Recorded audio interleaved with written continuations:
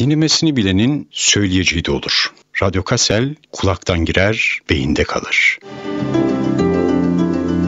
Ihr hört weiterhin das freie Radio Kassel. Es folgt eine Sendung auf Türkisch, das Radio Kassel.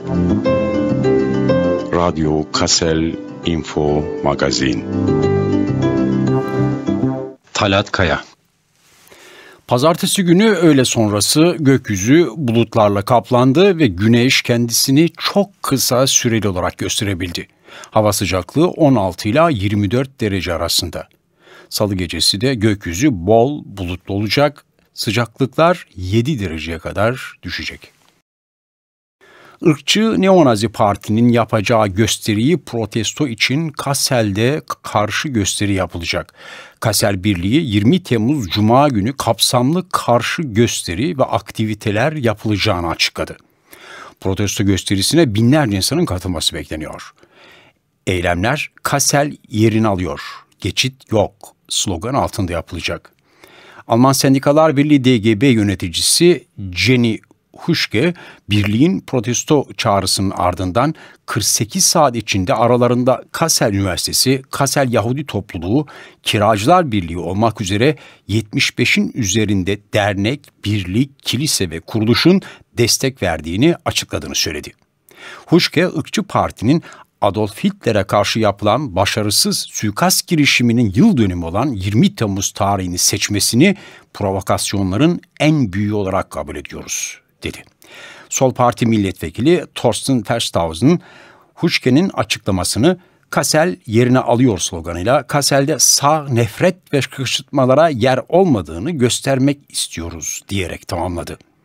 Belhayda SPD'den Andreas Dietz ve Asta'dan Daniel Zeitz 20 Temmuz'da Kassel'deki tüm merkezi alanları işgal edeceklerini açıkladı. Detaylar önümüzdeki hafta açıklanacak. Birlik Kassel Belediyesi'nin neonazi yürüyüşünü yasaklama çabalarını memnuniyetle karşıladı. Festhausen ama geleceklerini varsayıyoruz dedi. Yasaklama girişimi başarıyla sonuçlansa bile birlik gösteriyi planlandığı gibi hayata geçirecek. Feldshausen o zaman kutlamak için daha fazla nedenimiz olacak dedi. Sağa karşı birliğin basın toplantısında konuşan Thorsten Feldshausen bu sadece kentimizi bir gün için korumakla ilgili değil, bilakis sağcı ağları parçalamakla ilgili dedi. Birlik 20 Temmuz'da aralarında ana tren garı, üniversite, Fulda Köprüsü, Devlet Tiyatrosu, Königsplatz ve Halitplatz gibi merkezi alanların da bulunduğu çok sayıdaki noktada etkinlikler yapılacağını açıkladı. Felshausen, sağcıların buluştuğu her noktada yer almaya çalışacağız diye konuştu. Personel darboğazı hastanelerin sayısının azaltılmasıyla aşılacak.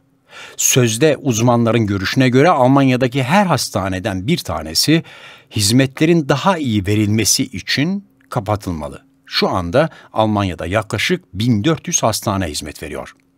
Sermaye kesimlerine yakınlığı ile bilinen Bertelsmann Vakfı ise yaptırdığı araştırmada bu sayının 600'e düşürülmesi gerektiğini iddia ediyor. İddiaya göre bu durumda hastanelerin daha çok personeli ve daha iyi teçhizat olacak.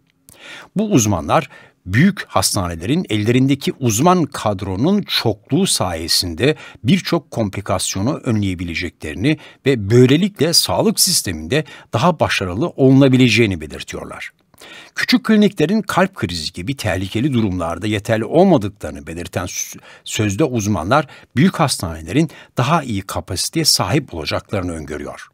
Yapılan araştırmanın Bertelsmann Vakfı tarafından yürütülmesi, araştırmanın sağlık tekerleri tarafından finanse edildiği izlenimini veriyor. Zaten şu anda var olan hastanelerde devletin yetersiz bütçe ayırması nedeniyle yeterli personel sayısının olmaması ve tasarruf politikası gerekçesiyle devletin görevi olan sağlık hizmetlerini özelleştirme çabasının sonucu olduğu birçok insan tarafından biliniyor aslında olması gereken bir dönemler Demokratik Almanya Cumhuriyeti'nde yaygın olan polikliniklerin en ücra köşelerde dahi açılması ve sağlık hizmetlerine herkesin olanaklı olan en kısa sürede ve en düşük masrafla ulaşabilmesinin sağlanması gerekiyor. Ancak yaşamın her alanı ticarileştirilmeye çalışıldığından ve sağlık alanında devasa karların elde edilmesi beklenildiğinden halkın yararına olan bu adımları atacak bir siyasi irade yok.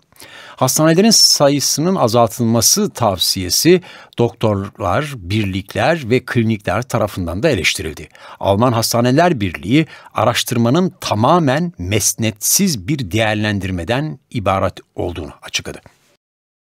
Dünya tekeli Amazon bugünlerde müşterilerine bol tenzilatlı ürün reklamları yapıyor. Ancak kendi personelini kötü şartlar altında ve düşük ücretle çalıştırmasına itiraz eden işçiler bugün grev önlüğünü giydi.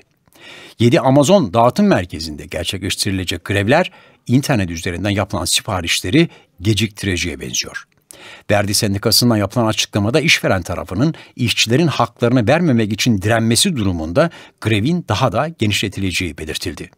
Amazon tekeli sadece Almanya'da toplam 12 depo ve 11 lojistik merkezinde 13 bin işçi çalıştırıyor. Verdi Sendikası da yaklaşık 6 yıldan beri bu işçilerin insan onuruna uygun bir ücretle çalıştırılması için mücadele ediyor. Sendikanın sekreterlerinden Orhan Akman, Amazon müşterilerine büyük indirimler yaparken bu indirimleri işçilerinin sırtından finanse ediyor. Toplu iş sözleşmesine yanaşmayan Amazon iş, işçileri kötü şartlarda çalıştırarak karlarına kar katıyor dedi. Amazon yönetimi ise işçilerine lojistik sektöründe ödenen ücret ortalamasının üzerinde maaş verdiklerini iddia ediyor. Halbuki toplu iş sözleşmesi imzalamamış olan Amazon işçilerine perakende sektörü ücretlerini vermesi gerektiğini gizlemeye çalışıyor. Görüldüğü kadarıyla Kassel'e yakın Bad Hersfeld'deki depoda da grev sürecek gibi gözüküyor.